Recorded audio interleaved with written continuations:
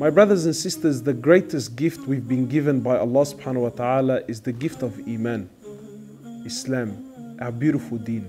And this deen of ours, my brothers and sisters, is so sacred, it's so holy. So one might ask, well, okay, if this deen is so important, I want to learn about my deen. I want to get closer to Allah subhanahu wa ta'ala. I want to understand my deen more. Where do I go?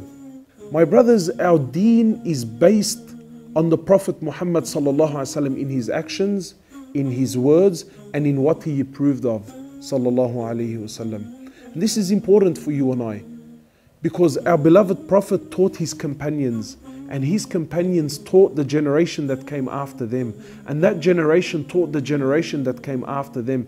And this has been the system for 1400 years.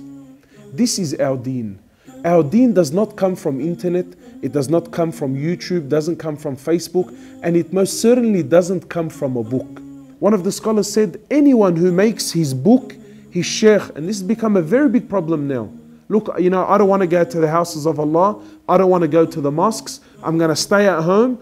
You know, I'll watch this, that, and the other on YouTube. And I have this book and that book, and it's authentic. So, therefore, this is how I'm going to take my deen.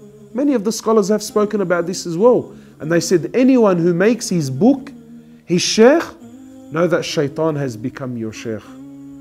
So, it's very important that we are cautious as to where we take our deen from. Where do I get my halal and haram from? Where do I get my advice about direction in life from?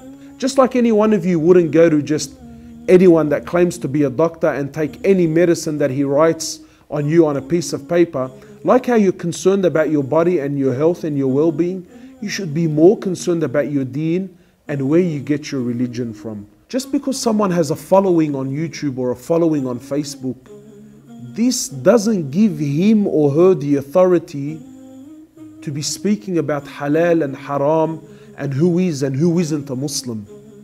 He needs to be a learned person. He needs to be someone that has studied. He needs to be someone that has sat. He needs to be someone that the other mashayikh, the other imam, they also approve of. 1400 years of scholars and people who gave their life to deliver this deen to us. Now we're going to put all of this aside and the opinion of someone that has a bit of a following on Facebook, now this is important to me. Now this has become the decider for me as to whether or not I do something or I don't. Don't be fooled. Don't be caught up in the hype. Our deen is measured, it's calculated, it's advanced. So, you know, yeah, maybe sometimes you come across someone, wow, he says some very nice words, extremely passionate, you know, your heart clicks onto it, right? Be cautious. Don't just run with it. Come back. Go back to the masjid. Sit down with the sheikh and say, hey, this is what I heard. Is this correct?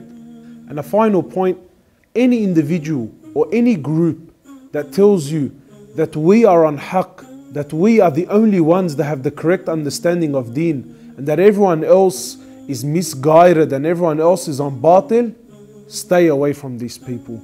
This is a clear sign from Allah subhanahu wa ta'ala that these people have no idea what they're talking about, and listening to such people will end up destroying you and destroying your deen.